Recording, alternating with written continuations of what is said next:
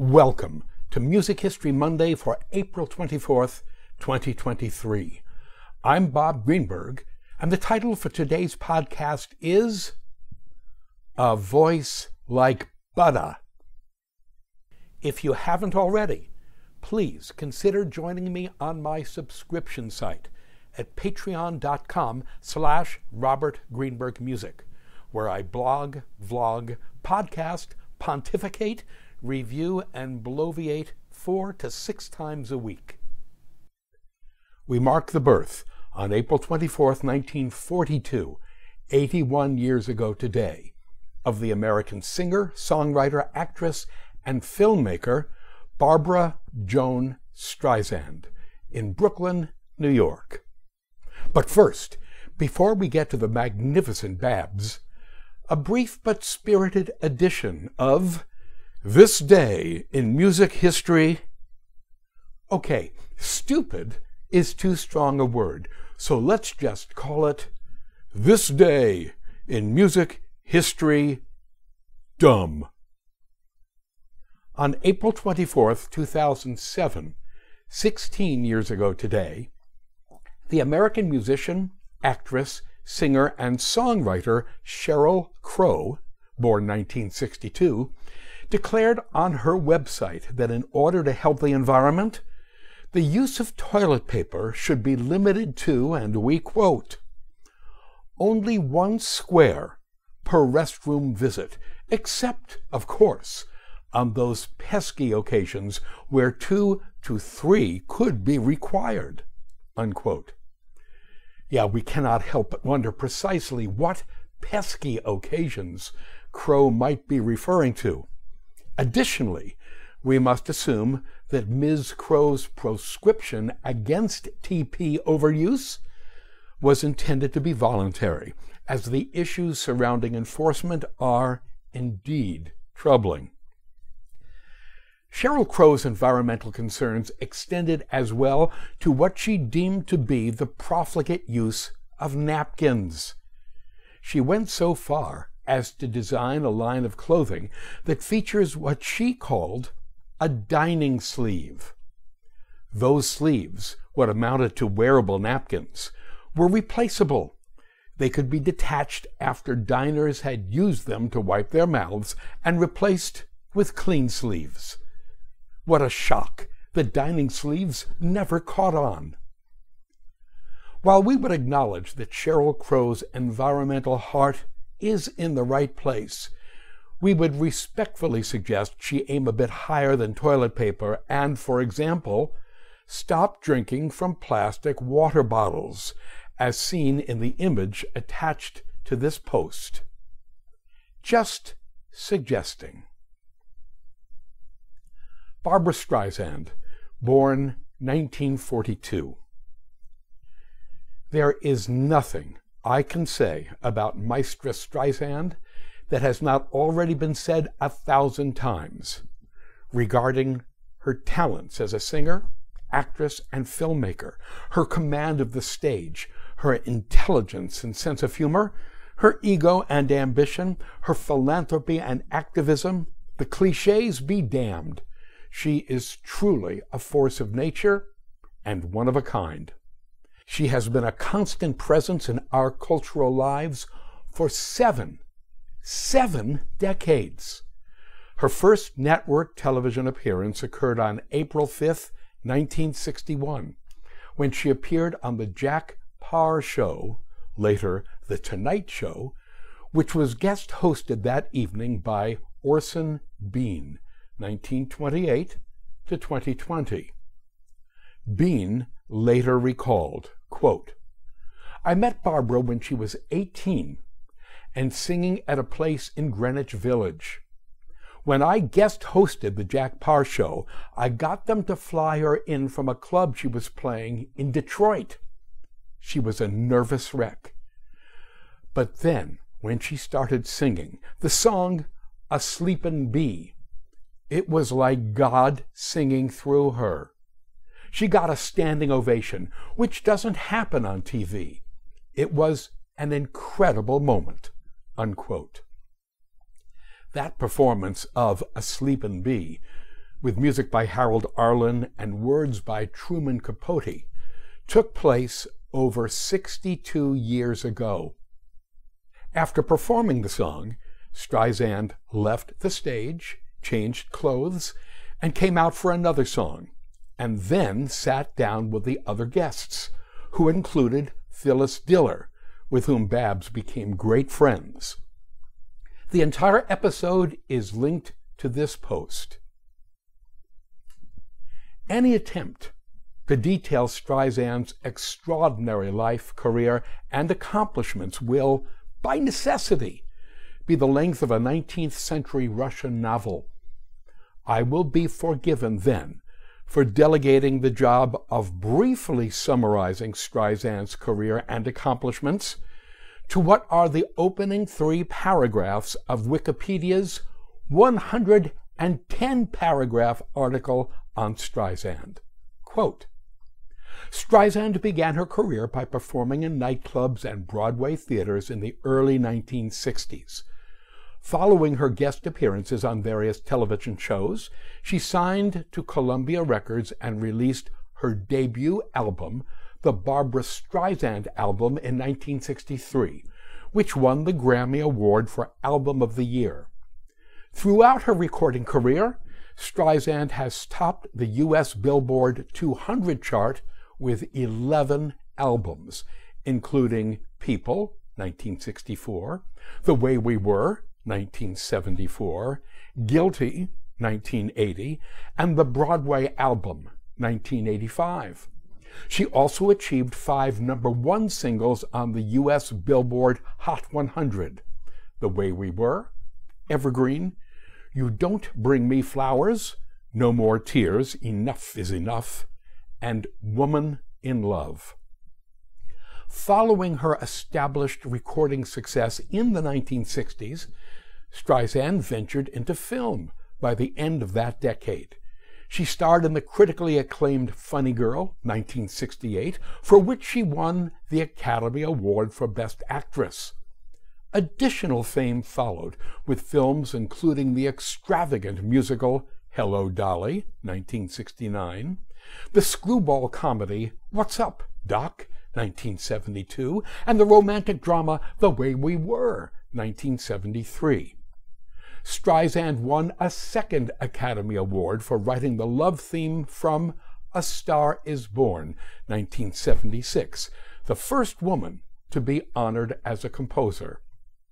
With the release of Yentl, 1983, Streisand became the first woman to write, produce, direct, and star in a major studio film.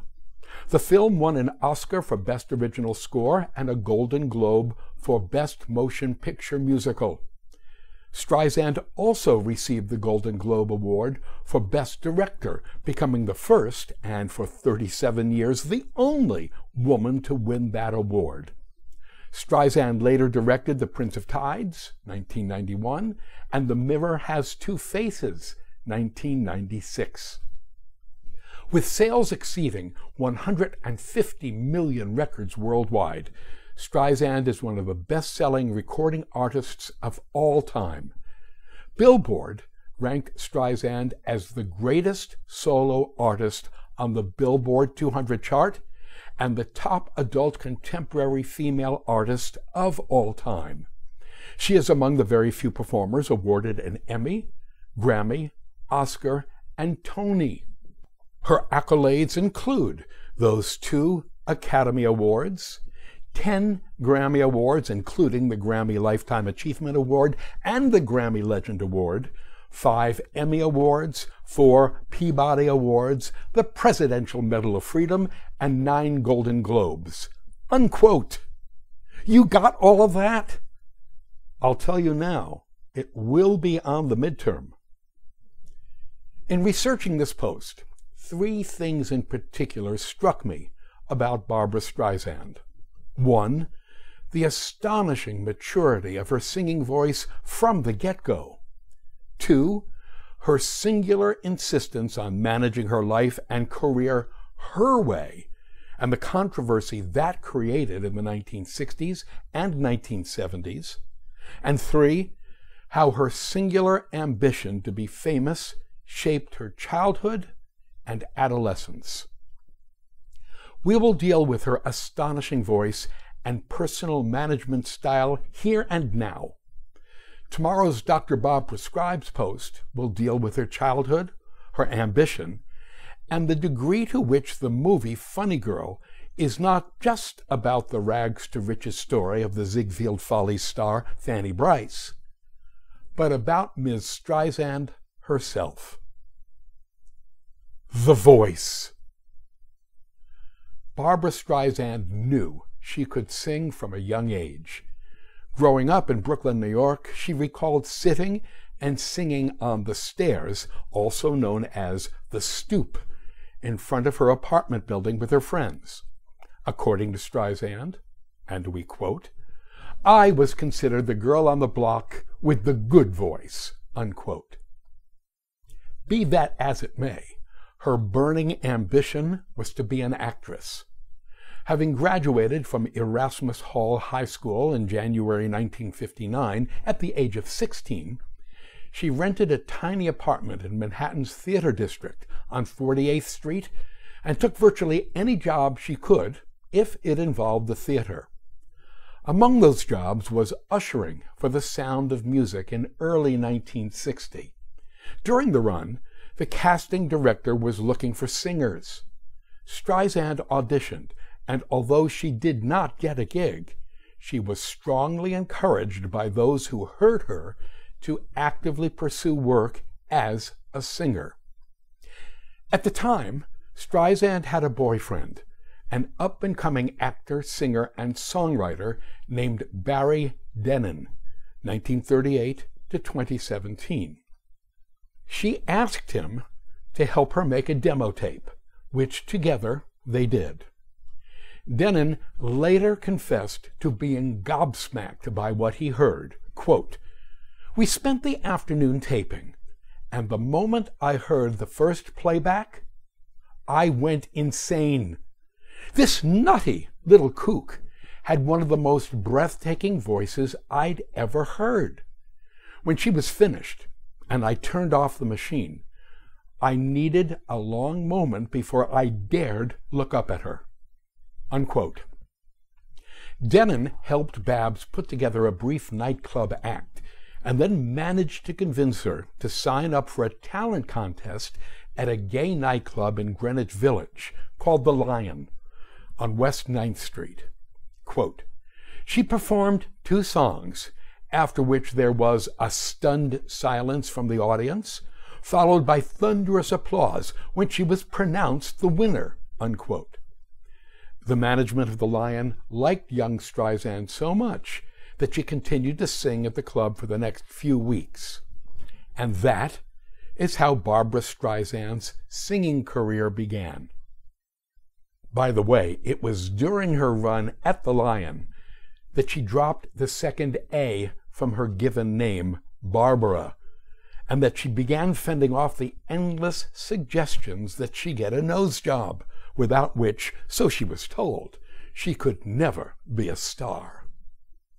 Within a few months, the 19 year old Streisand had appeared on The Jack Paar Show, after which her fellow guest Phyllis Diller called her, quote, one of the great singing talents in the world, unquote.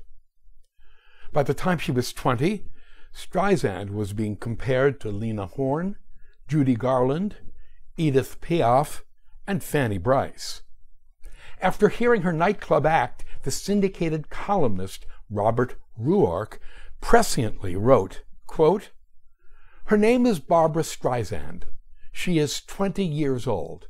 She has a three octave range. She packs more personal dynamic power than anybody I can recall since Helen Morgan.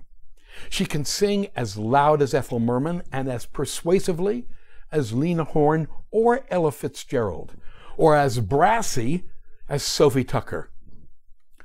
Only Barbra Streisand can turn Cry Me a River into something comparable to Enrico Caruso having his first bash at Pagliacci. When Streisand cries you a river, you got a river. She will be around 50 years from now if good songs are still written to be sung by good singers. Unquote. Streisand was a complete natural. She was nearly pitch perfect from day one, and she became pitch perfect by day two, perhaps day three.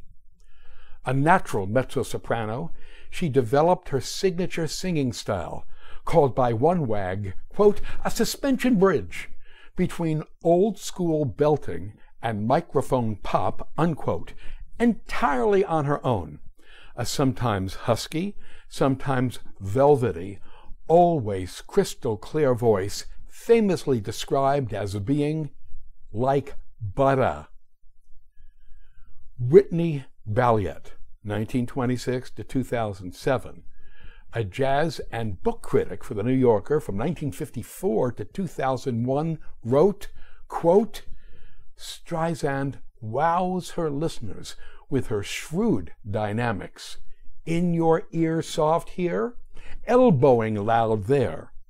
Her bravura climbs, her rolling vibrato, and the singular Streisand from Brooklyn nasal quality of her voice a voice as immediately recognizable in its way as Louis Armstrong's. Unquote. My way or the highway. From the very beginning of her career, Barbra Streisand insisted on doing things her way. When she was just 21, she signed a recording contract with Columbia Records. In exchange for less money up front, she insisted on and received full creative control over her recordings. The president of Columbia Records, Goddard Lieberson, was none too happy with her attitude, but he signed her anyway. Years later, Streisand remembered, quote, The most important thing about that first contract, actually the thing we held out for, was a unique clause giving me the right to choose my own material. It was the only thing I really cared about. I still received lots of pressure from the label to include some pop hits on my first album, but I held out for the songs that really meant something to me. Unquote. Columbia wanted to call that first album Sweet and Saucy Streisand. Exercising her creative control, Streisand nixed the title and instead insisted that the record be called the Barbra Streisand album. Her logic was simple. Quote, if you saw me on TV, you could just go to the record shop and ask for the Barbra Streisand album. It's common sense. Unquote. Yes, it was. The Barbra Streisand album scored the top 10 on the Billboard chart, and went on to win three Grammy Awards, making Streisand the best selling female vocalist in the United States and establishing her as being, quote, the most exciting new personality since Elvis Presley, unquote. The reputation. In the male dominated entertainment industry, Streisand was notable for all of her firsts as a woman. The first woman to win a Golden Globe Award for Best Director. The first woman to earn an Academy Award as a composer. The first woman to write, produce, direct, and star in a major studio film, and so forth. Unfortunately, all of these firsts say as much about the dreadful state of sexual equality at the time she broke into the industry as they do about Barbra Streisand herself. Truly, she had the chutzpah, the willingness, the smarts, and the talent to venture where no woman had gone before, and she paid for it. She was called pushy, difficult, shrill, and a bitch. Double standard words all. An ambitious man is assertive. An ambitious woman is pushy. An outspoken man is forthright. An outspoken woman is called shrill. An exacting man is a perfectionist. An exacting woman, is called difficult. A strong man is called uncompromising. A strong woman is called a bitch. Barbra Streisand's reputation for being all of the above dogged her until the Times, albeit slowly, began to catch up with her. Love her or not, we must respect her. Not for just her talent and extraordinary artistic legacy, but for virtually creating a new sort of star. One who didn't change her name yeah, taking a single letter out of Barbara does not constitute a name change, or get a nose job, or allow anyone to tell her how to run her life and career.